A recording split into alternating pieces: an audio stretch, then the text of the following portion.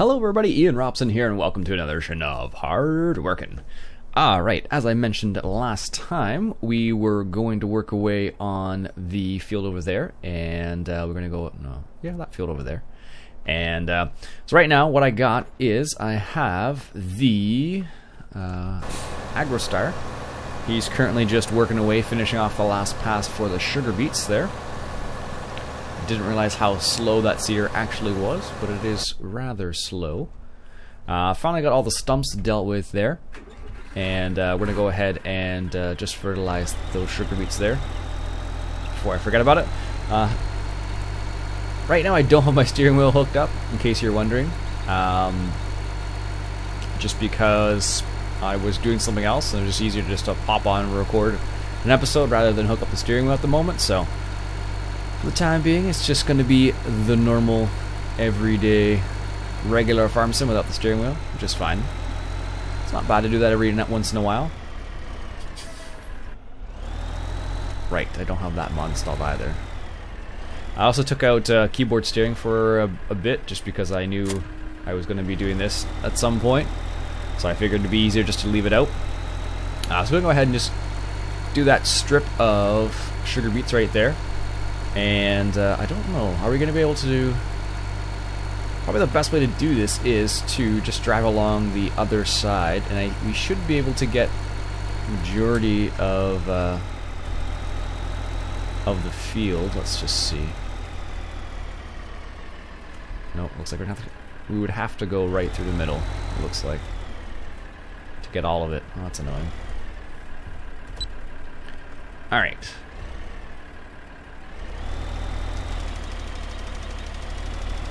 Thought it needed to be fertilized. So we're gonna have one, two little strips down the middle. That's not too bad. Um, so I'm gonna go ahead and fertilize this, and I finished grinding all the stumps there off camera. Oh, looks like there's still some I missed. It's so hard to find them all. It's one of the more annoying things to do. I discovered. I was like, hey, yeah, we'll get these stumps done, and then it's like, oh, there's a stump. Oh, there's a stump. And you do it after the fact. I don't know. I feel I maybe next time I do it, I should do it at the same time. Might make my life a bit easier. Alright, looks like the Agrostar is done. Which is good. I don't know, I kind of like this idea of having a little strip here of, um... Yeah, there's some stumps over there. I thought I got them all. Apparently I did not. It's funny though, because you see them from a distance. Like, whatever, for the reason you can see them at a distance, and as you get closer, then it becomes extremely hard to find them all. Which is always the case. Alright, so this is just this little strip here. And the nice thing about it is actually, um, when we harvest the sugar beets on here, what we'll be able to do is, uh, just finish that a little bit off there. Perfect. Uh, once you harvest the sugar beets, you just cultivate them under, and uh, then you can you get fertilizing, fertilized again, and that is uh, according to comments, that is actually the green manure mod. I just have not, uh, I haven't used it much. I just uh, don't usually cultivate sugar beets. I just replant into them, I think, without cultivating them first. So apparently that is what is the one that actually did that last time. So it's pretty cool. All right, let's put this up over here. I'm actually surprised. Uh, I was looking at some of the mods that have been coming out, and I'm surprised um, there haven't been like some. I'm surprised there haven't been like any big names coming out yet. Uh, like for example, NI Modding hasn't come out with anything yet, or hasn't brought anything up. Uh, that guy's done as well. We'll just leave him here. Let's grab this guy again. And let's go see if we can't find a couple of stumps. Um, I'm just gonna do this off camera. I'll be back in a sec. Alright, so I think I got all the stumps. Uh, I'm not really sure. I will find out in a second. Anyway, so what we're gonna do is we're gonna go ahead and rent a mower. I'm a big fan of uh, da, da, da, this guy right here. Um, we're gonna go ahead and rent that. I could have got these, I suppose, or those. I just uh, like driving this, and this is part of the game, right? Uh, let's go for two hours. Excellent. And let's go ahead and just ask that to be dropped off. S'il vous play. Excellent. And here we are. It's funny because I had the the key set up in a different way uh, with my steering wheel. I had actually had to think about what the keys were to do a couple things. I was like, okay, so how do I turn off the parking brake with drive control? Like little things like that, because I don't normally do it uh, with just the keyboard. I do it on the on. Oh, there's I can see them all now. We'll figure. Uh, I usually do it on the uh, the shifter on the G27 there, so it's just kind of comical that I totally forget now. All right, so let's go ahead and uh, get this done. This might actually let me find some of the stumps too, so I'll keep. That's why I kept the stump grinder there, just in case I happen to come across any, so I can get them before I forget about them again. All right, so Oops, let's unfold, that would always help. Yeah, I don't know why, this thing is like, I don't know, I really enjoy using this thing. Um, it's probably overkill for most scenarios, but it's fun, so. And let's lower those down. Get a better, that's good. And do I have it set so it uh, enable widespreading? No.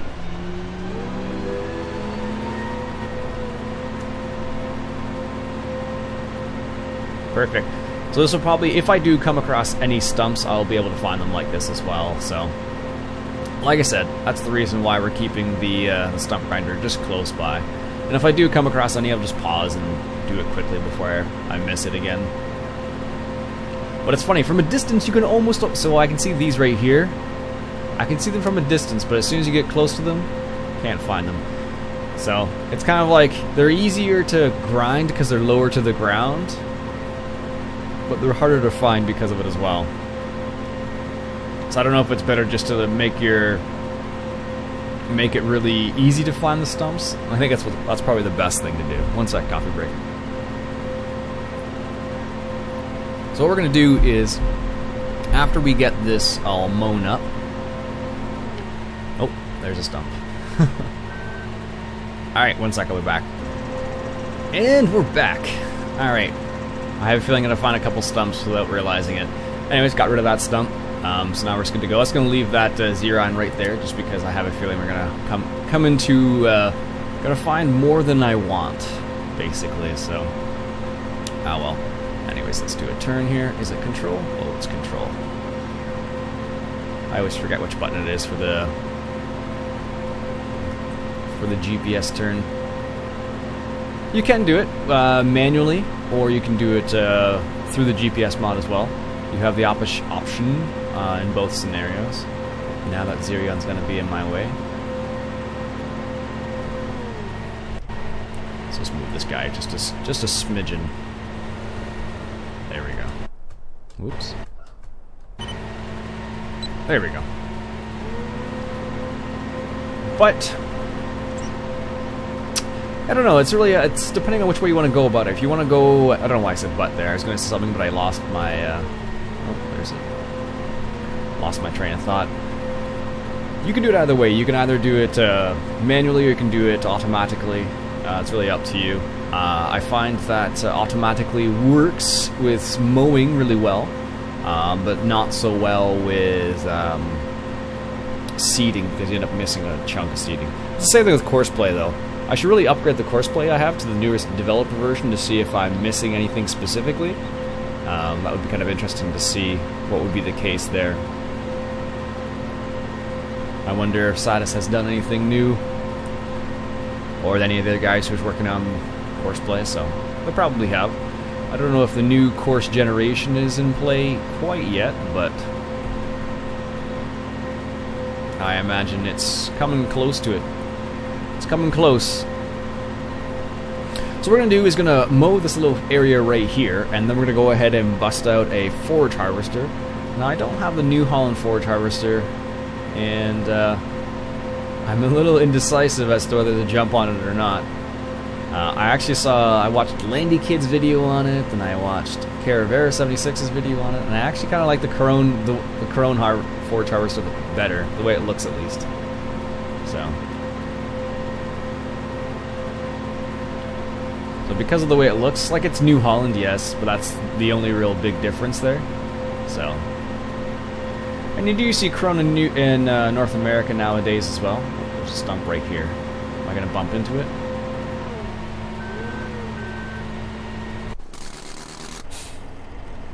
Alright, let's grab this guy and get the stump right here. This is what I've been doing off camera, basically. If it's just one stump, it's not so bad, but it's multiple stumps, it can be a problem. Now the funny thing is, because of the uh, drive control mod, you end up uh, taking out a little, taking out a little bit of the grass when you drive over it. It's not a huge amount, but it's enough. So you definitely notice uh, a little bit of a difference, but not a crazy amount. Oh, there's one there. Alright. And we're back again. I keep finding all the stumps, but I guess this is one way to find the stumps. It wasn't my original intention, but I guess it'll work. It's funny, you'd think that, um, I guess I, these are, these arms right here are actually like solid, uh, in the, in giant, I don't know how you describe it, but the model, there we go, that's what I'm looking for. Uh, they model them solid, so if you do hit a stump, you'll find out pretty easily, which is actually not a bad thing. Um, but you would not want to hit a stump with one of, with this machine, like, because that would seriously mess up the drivetrain and everything associated with this. It would just be a nightmare, basically. Like, could you imagine? Like, this is what four, five hundred dollar thousand, five hundred thousand dollar machine. If you happen to hit a stump by accident, rocks you would probably hit, but it'd have to be a pretty big rock to be a to make a serious dent in this. I would imagine. I'm not an expert, but yeah, if you hit a rock, you know that's fairly normal depending on the size of the rock. But tree stumps, I don't know. Maybe they would give weight to this thing. I don't know. It's like a disc. It's like a. You call it. Oh, look at that! They even did those. Didn't never even noticed that before don't sit inside this thing. Usually I set it up with course play, so I guess that's why I was just like, ah. Um, anyways. Yeah, I don't, know about a stump would probably be, you'd probably take it out a little bit, but I don't imagine it'd be good for the machine. Wonder if Giants will come out with a, uh, a revised version of this Krone in a DLC, and I will be the only thing you get. I don't know, the new DLC for the New Holland DLC, like, yeah, it's nice, but I don't know. You only get the one machine, and like in Canada, it's like eight bucks for the one machine. They're like, ah, I don't know. If I got it for free, I'd be happy, but if I had to pay for it, I'd be like, hmm. Like, let me put this into perspective. Uh, if I were to, let's say, purchase a Humble Bundle for $8, right now, let's say, I could get Borderlands 1, Borderlands 2, and like three or four DLCs for 8 bucks. So you tell me what's a better deal. so, just to put that in perspective. But everyone has a different uh, idea, I guess. So, like, yeah, for me, I think if I were to spend eight dollars, I'd probably do it on the humble bundle rather than uh, rather than on the new DLC because I get like different games, like more than one game. So I don't know. It looks good though. From what I've seen, it looks like a pretty solid DLC. So I'm not like like the actual modeling itself is pretty solid and whatnot, but I'm just not sure about the uh, the price wise. I probably could have done this. I used rented this for an hour. I didn't think it was going to be this quick, but better safe than sorry, I guess. Cost us like what three grand or something. So now the question is, do we want to put this into our regular bunker? Uh, we do have the BGA extension, not the BGA extension. Uh, we have the fire silo mod, which means we'll have to. Uh, oh, that means we could actually uh, make TMR in our bunker. I always forget about that. Don't know why though. It's one of those things that you just you happen to you think about and you're like, oh, okay. Did I forget about that? Anyway, so what I'll do is uh, just had a random thought. Anyways, I'll finish this off camera, and I'll come back when ready to use the forage harvester. I will be back in a moment. All right, just finishing up the last little bit right here. As you can see, just going to do this last little bit, and then we can return our vehicle. There we go. Turn it off. That's not too bad, actually. I thought we were going to have uh, a lot more than that, but apparently uh, we are good to go. Alright. Let's just tell them to come pick it up. We have it left right here. Oops. Oh no, that's the right button. And we only we only needed it for an hour in the end, so we'll return vehicle. Cost us 22 bucks for fuel. That's not that's not too bad. All right, so let's go into. I don't think I have any fancy. Actually, I might. Let me just see. Harvesters. I have the beast, but I think I have. I could actually use this. I've never used that before. Uh, that's corn. That's corn. I have no idea where I got this thing. Someone asked me in the comments where I got this, but I have no idea where I got this from. I thought it was from American Eagle Modding, but it's not. No, th those are for American Eagle modding. But that's not very helpful for other people. Now, what else do we have here? I don't think we have anything else that would actually work in this scenario. Uh, do I have anything randomly in miscellaneous? I really need to clean up my mods folder. Porter potty? Oh my goodness. Alright, so I'm going to go ahead and uh, we're gonna. I've used the Krone before, so let's use the Beast. Uh, let's go for two hours on the Beast. Actually, you know what I can do now that I think about it? Uh, we want this, so we want two hours on that as well. And I think there is actually a trailer you can use uh, alongside this. I've never used it before, so I think I'm going to try and use it. I think it'd be in tippers, maybe? Uh, da, da, da, where would it be? I'm pretty sure it's in Tippers. Nope, there it is. Rent that for two hours as well. Hmm, three hours apparently. Alright, so let's go ahead and reset that stuff. Yes. Yes. And er, yes. We'll get this guy off the field. It's apparently running low on fuel, actually, too. Alright, so what we'll do is uh, we will get this guy off the field, like so.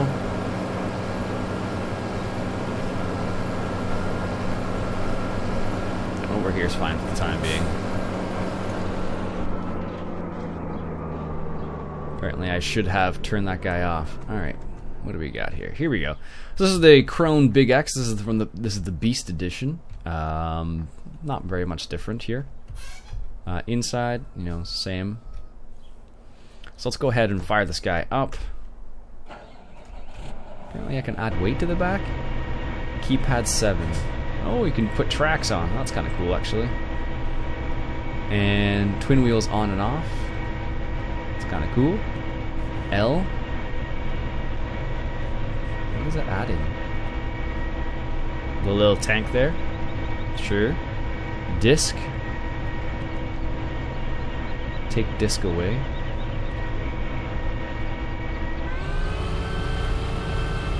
That sounds a bit different, actually.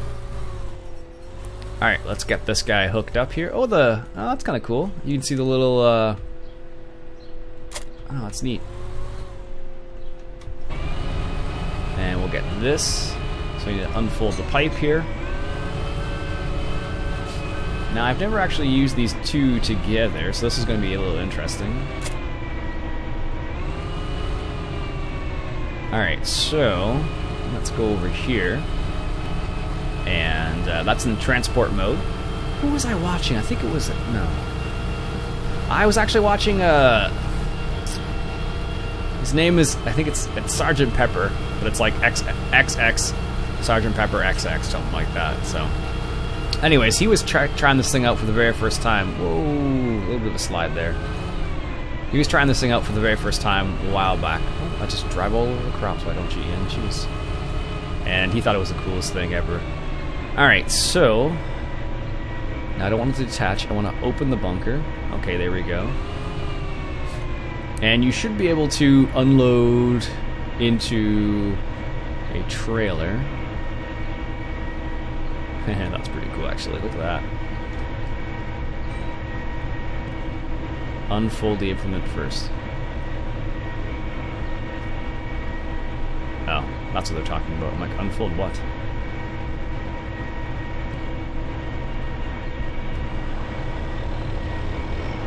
There we go. Sweet, look at that. That's awesome. Oh, it's even got a fancy sound, too. Can't stay on the track, apparently. There we go. That's really cool. I don't know how much this thing holds, but I think it's actually quite a lot, uh, if memory serves. I want to say it's like 50,000 liters, something crazy like that. Alright, we're coming up on 10%. Yeah, maybe 50,000 liters. Or 25,000. I don't know, we'll figure it out. Well, how cool is that? So, probably could have Courseplay unload this technically. Uh, but what we'll do is we will bring the truck around, and with the truck we'll have uh, we'll just dump straight into the truck because the truck I believe holds fifty thousand. I think it's fifty or seventy thousand liters, so should be fine. Now the question is, where do we want to put this? We want to put this into our ah, it's pretty nifty, I must admit. I like the fact that the... Turn the lights on. Ooh, that's talk about lag. Holy smokes.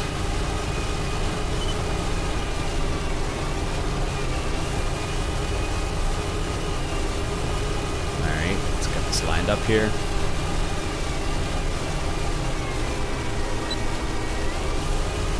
I have to admit, it's a bit more, uh, it's a bit more enjoyable. I think there's actually more lights we can put on. Oh yeah.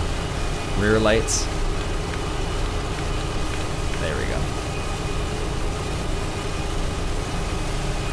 That's not too bad. Yeah, it holds 50,000 like I, like I figured.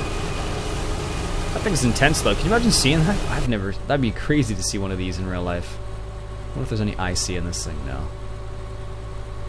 That'd be a little too. It's actually awfully nice and quiet in here though.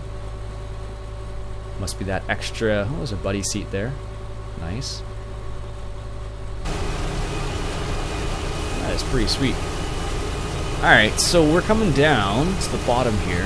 Uh, what we'll do is we'll finish up this pass down here, and then we'll bring the truck around and just unload into the truck, because we're at 80% now, so... Uh, this works out to our benefit, actually, because then we don't need to drive all over uh, hell and high water, I think is the expression. Alright. Let's go ahead and get this lined up here. 90%.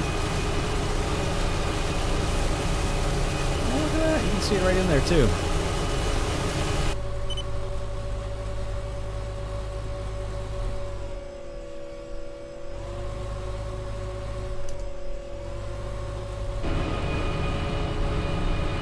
Alright, so let's leave this right here. Uh, let's grab this guy.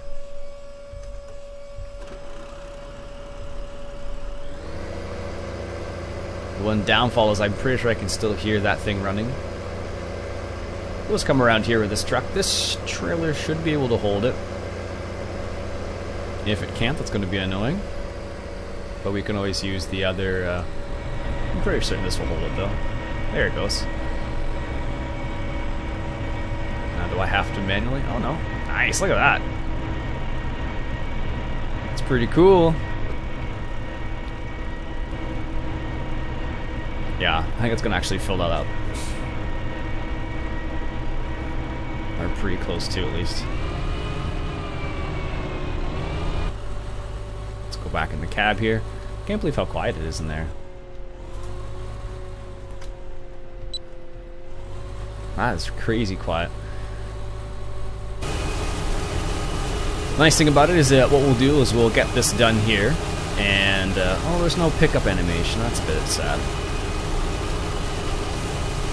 Thought there would be. I think I, I could probably use the easy flow from the in-game, and I'm pretty sure there's an animation for that, but there's none for this. That's makes me a bit sad. But oh well. Alright. This thing's pretty sweet. Actually, I, I can see why this could, could be useful. If you're doing a lot of silage and uh, like on a multiplayer server, like I'm just using the easy flow pickup obviously, but you could you could use this with corn as well, of course, to make chaff, and then take that route if you wanted to. This thing's been out for a while actually. Um, I just never use it because I don't normally. Uh, I just use the normal in-game one in most scenarios. It's so strange using the keyboard, actually. Um, although it's really strange because um, I'm used to using the steering wheel, obviously. And uh, it's much easier to have uh, graceful turns uh, with the keyboard, or the keyboard, with the steering wheel. But it does, uh, I don't know, I just find with the keyboard and mouse, I find that I'm a bit more, uh, I don't want to stay in the cab nearly as much. Uh, at least that's what I found, at least. Nice. Now, there are a couple of spots where I screwed up, of course, but that's fine. Now, the question is, uh, are we going to put this in the regular bunker, or... I don't think we have a storage facility for this. Uh, let's just check real quick to see what we have in terms of placeables. We could store it just the way it is. What is that? Berries, I guess. I have so many random buildings now. This can take hay. When did, that must be the newer version of it or something.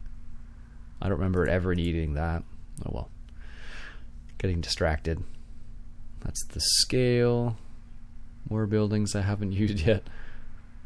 Uh, nope, nope, no, nope. Uh, wood chip silo. Seed silo. Placeable that, placeable that. Oh, we could actually use that too. Hmm, totally forgot about that. Where is it? Oh my goodness. It's right at the end, I guess.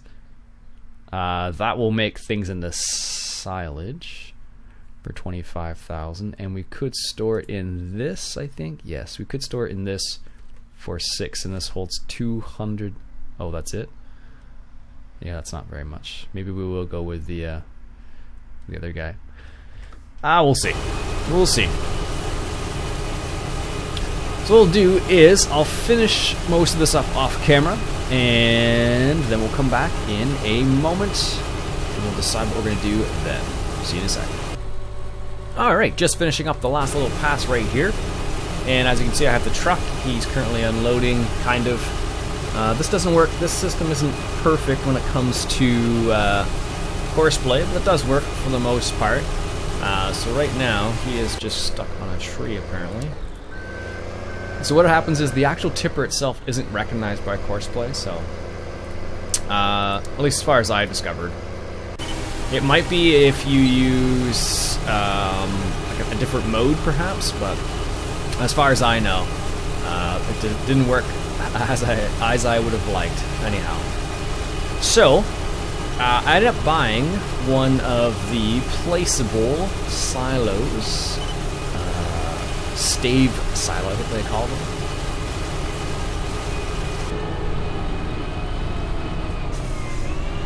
Yeah, let's just drive this up to the top of the field here.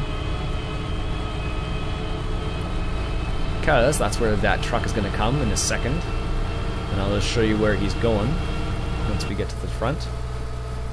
It's so much quieter. I can't believe how much quieter it is inside the cab of this thing. It's nuts. It's nice. I like it. So if you like driving in cab, it's really nice for that. Alright, that's probably good. So here is um, the course he's driving at the moment. and uh, I picked up one of those replaceable silos. I did it, I did it off camera because I didn't want to, in case I crashed, uh, because that can happen from time to time. Uh, but I've picked it up before. It's this one right here. I used it on the Manchester map a couple other maps. So he's just coming around here, unloading into it, and uh, this makes us uh, silage. As you can see, we're half full, and it made uh, we're gonna make probably it looks like around 300,000, 400,000 liters of uh, silage. Looks like in the end, which would be nice. So that's what we're using for that. Excellent. That's where we picked it up. That seemed like a good enough spot as any to put it. Uh, it's kind of like off the beaten path a little bit, so that's good. And we, I was thought about taking out some of these trees back here in order to make like a little placeable area, but for now, that's what we got. Oh, that doesn't, uh, huh, doesn't have the right diffuse there. Or, well, unload uh, animation. Anyways, folks, that'll be it for today. Uh, we'll come back next episode. Maybe we'll harvest some sugar beets or some canola. Not sure yet. So until then, folks, my name is Iain Robson. This has been Hard Working, and I'll catch you guys later.